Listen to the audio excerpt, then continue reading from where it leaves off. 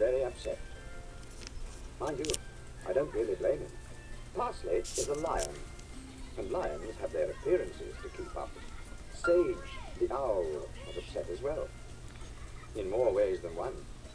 When Parsley got his tail back, Sage had his nest blown out of the tree where he lived, and not even Sir Basil, Lady Rosemary, Bayleaf, the odd job man, Dill the dog, or even Constable Knapweed could get it back. They had a terrible time. I'll show you what happened if you like. I'd better say the magic word. Herbidacious.